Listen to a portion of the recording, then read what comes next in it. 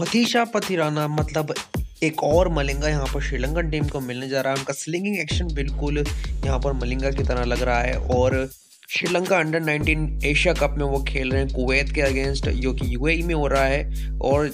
ट्रिंटी college से वो आते हैं जिसके एलमुनी रह चुके हैं संगाकारा तो ये भी एक बहुत ही अच्छी बात है तो चैनल को सब्सक्राइब करना मत बोला मिलता है अगली वीडियो में बहुत जल्द आपको इस चैनल पर देखने को मिलेगी